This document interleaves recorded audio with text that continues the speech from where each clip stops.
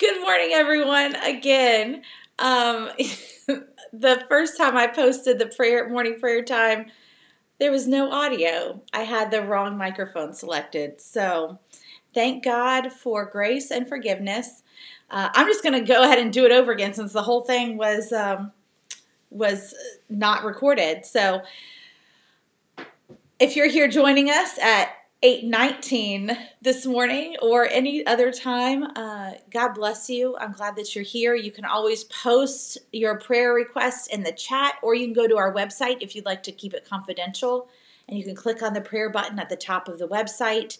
Uh, those prayer requests go straight to the pastors on staff, um, and um, and we would be happy to pray for you uh, I was sharing that, that that every Monday, Candace writes a, a devotional called Monday Moments, and they are so good. If you do not subscribe to that email or click on our Facebook page to read them, I really encourage you to do so. They're they're a great way to start the week.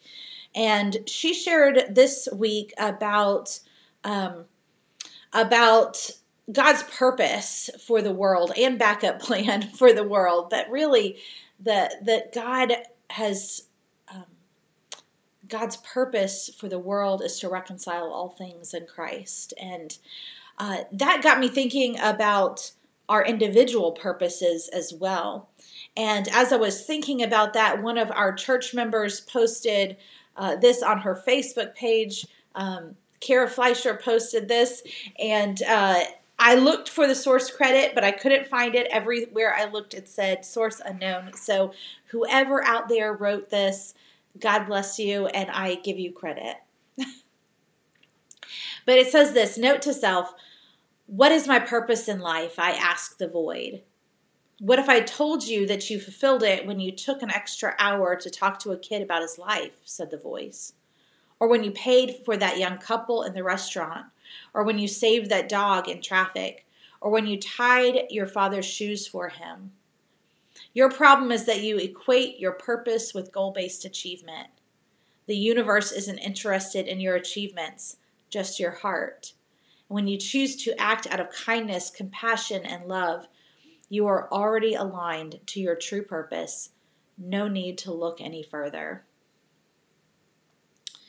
I know that I have uh, spoken on this topic before, but it comes up so often in um, in pastoral ministry, especially dealing with youth, but really of all ages, where we are asking God for guidance and direction. And I think that that's wonderful. I ask God all the time to help me in making decisions and to guide me in the the path that would be most um, aligned with God's will and uh, and I hope to get responses from that. I hope to hear God speaking to me about um, about the choices in my life. But it's important for us to not equate our purpose, uh, our our core purpose, with a particular task or a particular choice. Although I think that our core purpose uh, flows into those. And that is that that our core purpose isn't one career or another necessarily, or or one um, uh, city to live in or another, or even even in our um, uh, marriage, like one marrying one person versus another. Although I'm sure that that there are things that go into that, right, with character and compatibility and all that kind of stuff. But but our the real core of our purpose is to worship God. It is to become more Christ-like. It is to live lives of kindness, compassion, and love. To to take up the the the life of Christ in us, um, to live lives of self-sacrifice and um, not, though, in order to check the box, right? Not in order to cross off the task list or something. Like, God doesn't have, um, or at least I don't know, I, but I don't think that God has a notebook with all the tasks that you're supposed to do, the purposes that He has laid out for you, and He's checking it off and going, okay, Mark, You washed the dishes today. Good job. Check. You fulfilled your purpose. Okay, let's see. Did you take out the garbage? Nope. Yeah, missed that one. Uh, so, or the same thing with our career paths, right? We go, I've gone through um, two careers at least in, in, um, in choosing engineering and then choosing to become a pastor. And I do believe that I'm following God's call in my life, but at the same time, I don't feel like my purpose in life is to be a pastor. It's to be Christ like in whatever path that I may, may walk down. I wanted to share this scripture with you today, for we are God's handiwork, created in Christ Jesus to do good works, which God prepared in advance for us to do again, I don't I don't interpret that as that God has a list of good works that he has prepared for you to do that he's checking off, but rather that God created humanity with the foreknowledge and the intention that we would do good works, that we would care for creation, that we would care for one another. And so that is where I find my own purpose, and I hope that you um, are finding meaning in life as well. So, as we go to our time of prayer,